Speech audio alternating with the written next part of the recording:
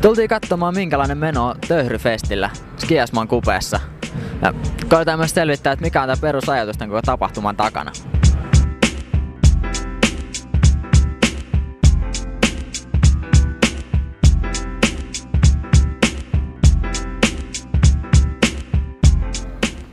No niin, hyvät elävän kaupungin ystävät, kulttuuriystävät ennen muuta taiteen ystävät. Mä niinkään en ole puhumassa täällä kansanedustajana, vaan valtuutettuna. Mä oon kahdeksan vuotta ollut Helsingin valtuustossa ja koko sen ajan yrittänyt saada järkeä tähän Stop Töyhryille projektiin. Mitä sun mielestä on saavutettu tällä Stop Töyhryille kampanjalla? No varmasti on entistä vähemmän tageja, vähemmän graffitteja kuin aikaisemmin. Se varjopuolena on nuoret, jotka kokee, että vartijat jahtaa niitä nuoret, joilla on kymmeniä tuhansia laskut, vankeustuomiot vaan sen vuoksi, ne on halunnut harrastaa taidetta. Et onko se ollut sen arvosta? Mun mielestä ei ole. En mä missään nimessä kannata, että kuka tahansa saa mennä tekemään mihin tahansa. Mä kannatan sitä, että meillä on laillisia paikkoja, johon voi tehdä. Mä kannatan sitä, että puhdistetaan näkyviltä paikoilta, mutta samaan aikaan pitää myös olla järki siinä, että purettavia taloja tai kaukaisia tunneleita ei, ei puhdisteta ja sinne hukata kymmeniä satoja tuhansia euroja sellaisten paikkojen puhdistamiseen.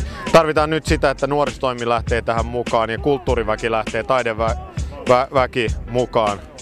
Se on erittäin tärkeää, että jengi on liikkeellä tuomassa sitä toisenlaista näkemystä, sitä kritiikkiä, mitä pitää Stop Töhrille kampanjaa tai projektia kohtaan esittää. Mä haluan ensinnäkin huomioida se, että kaupunki järjestää tuolla toisella puolella musiikkitalon Monttua suljetun juhlaseminaarin projektin kunniaksi, joka ei todellakaan ole juhlimisen arvoinen. Ja me halutaan järjestää avoin tapahtuma, missä ihmiset, jotka vastustaa tätä projektia, voi kokoontua ja näyttää, että ne vastustaa sitä.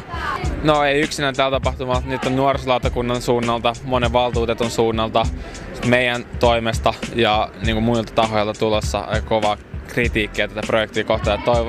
Mä toivon ainakin, että se, ellei sitten saada päättymään, että se ainakin menettää paljon määrärahoja ja muuttaa muotoon. Musta on kymmenen vuotta jatkunut väkivaltaiset repressiot niin kuin yhtä, ka, yhtä öö, ihmisryhmää kohtaa kaupungissa.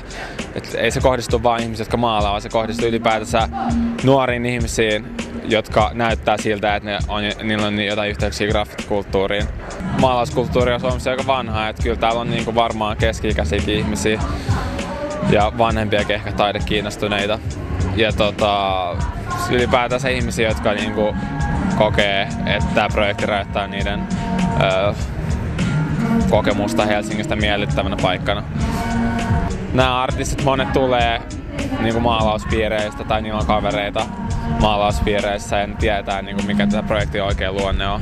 Ja ne niin kuin, suuri osa ei epäröinyt hetkeäkään. Hei, miten tehdään graffiteja?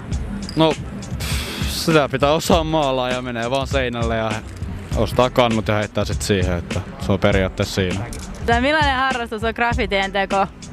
Iloinen ja mukava harrastus. Saa uusia ystäviä. On se, on se välillä vähän kuumottavaa, kun ne fapsit ne on siellä puskis niinku kyykkii. Sit ne on pamppuja hyökkää. Ootte se joutunut pahasti liriin? 40 tonni. No ei nyt sille on pari kertaa No, tuolla putkaskin ollut ja sillä sen takia, mutta ei nyt silleen kummosempia. Fuck FPS. Teillä menee helkkaristi rahaa. No, no en mä tiedä, menee jos... enemmän rahaa kuin ne pesee niitä. Niin siis en mä tiedä, siis jos niinku tykkää, tekee sitä mitä haluaa ja sillä niinku... Mulla on ainakin se mielipide, että ei se... Kuuntelin koko keikan ja ootelin vähän, että tunkis liikaa, jos ne tulis vaikka tähän baarin puolelle. No tuoltahan ne jo tulleekin, nytkö on meikän chanssi? Onko ketään kotona? Hei hei hei, kop kop kop. Onko ketään kotona?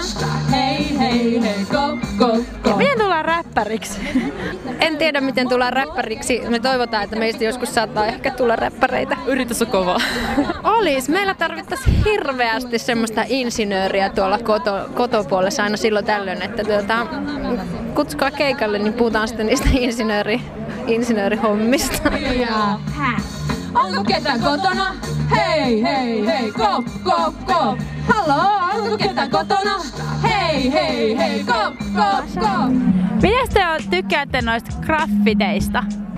Ää, nämä on tosi kivan näköisiä ja ihan hirveän kivan näköisiä. Kivan näköisiä. Missä noista piirustuksista tykkäät eniten? Tota, öö, tos peikon näköisestä päästä. Siksi, koska se on piirretty huolellisesti ja sit se on tota... Jotenkin se vaan on. No, toi ä, tyttö. No, koska siinä on ä, tota, niin paljon yksityiskohtia ja näitä ihan kamalasti tällaisia värejä. Tykkäättekö te piirtää? Ö, Joo, mä oon melkein piirtänyt koko elämäni aikana ja tota, musta ehkä tulee isona taiteilija. No, kyllä mä tykkään piirtää, mutta tota, en mä aina jaksa piirtää.